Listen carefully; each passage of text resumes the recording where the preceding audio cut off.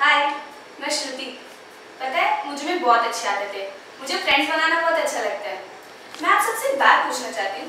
बिना फ्रेंड्स के कोई कैसे रह सकता है? I mean without friends no मस्ती no fun no time pass कुछ भी नहीं। लाइफ इज़ सो बोरिंग मेरे स्कूल में ना, मेरे एक दिन, दो दिन, पूरी की पूरी क्लास बेस्ट फ्रेंड थी। As you know friends forever मुझसे दस्ती करेंगे?